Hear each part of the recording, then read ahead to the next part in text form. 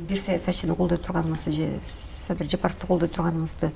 дагы бир билдирүү жасадыңыз окшойт сага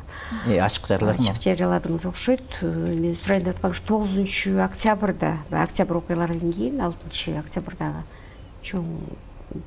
бурулуштан кийин тогузунчу октябрда дагы бир чоң митинг болбоду ошондон кийин сиз билдирүү жасадыңыз да ошол билдирүүңүздө эркиндикке чыккан саясатчылар биз камсыздап берген шарттан пайдаланып тез арада бийлик талашууга өттү деп билдирдиңиз да. Анан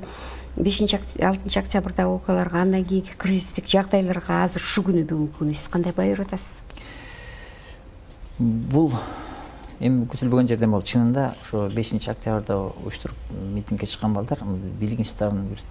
тоболон калып баралы деген ниет жок болчу ошо шайлоо процессин жокко чыгарып гана ушу шайлоо жолу менен мындай тынчтык жолу менен адилеттүү тармакта бийлик бутактары түптөлсө деген ниет болчу. Анан тагдырга жараша жанагындай тирешүүлөр болуп кеткенде биз өтө бир бычактын мизине барып аз жерден мындай азыр кыйналып калган үчүнчү мамлекеттин деңгээлине түшүп кетпей мындай бутубузга туруп кеттик да. Ошол кезде биз башында координациондук кеңеш түзүп атайын партиялардын баарын чакырып тез арада өзүбүздүн туруктуулукту сактап кала десек эски саясатчылар ар кайсы жерге өзүнчө топ түзүп өздөрүнүн кызыкчылыгы менен тирешип баштаганда кадимкидей чочулоону пайда болду өзүңөр байкадыңар тышкы саясаттагы көз караштар тез өзгөрдү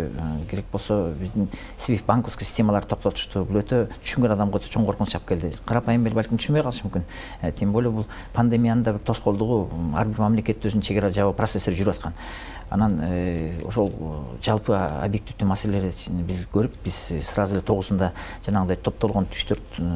тирешүүгө аралашпай үстөккө босток кылбай биз кайсы багыттын күчү тезирээк ошо тил табышка алып барат деген негизде биз жанагы азыр күтүп жүргөн бийлик бутагына биз баш эме мындай көңүл бурдук. Анткени бирок сиз айтып атасыз да ушул эркиндикке чыккан саясатчылар биз камсыздап берген. Шартты пайдаланып кетти деп кайсы күч жөнүндө айтып атасыз ошондо эми бул азыркы жүргөн бийликке бир эле топ келген жок да ал саясий компромисс негизинде ар кандай күчтөр кирди ар кандай партиялардын агымдары кирди мен ошолорду айтып атам да. Эркиндикке чыккан деп байбактан бошонгон саясатчылар жөнүндө сөз болду. Эми алмаз шашанович деле ошо чыкты бирок чыкканда эми бул чоң бийлик бутагына барган адамдар стабилдүүлүккө чакырыш керек болчу. Бирок эмнегедир баягы бийлик талашуу процесстерин аттана баштады да бул баардык калкка коркунуч алып келе турган сезим болуп калды мына мен ошол процесстерди айткам да чындап келгенде ошол күчтөр тез аранын ичинде тынбысын тил табыш керек болчу. Анткени бул саясатты көрүп калган адамдар муну мындай билими бар адамдар түшүнүп калды мына ошол коркунучту кезде. Ошол коркунуч бир жарандык согушка өтүп кетпесе экен депчи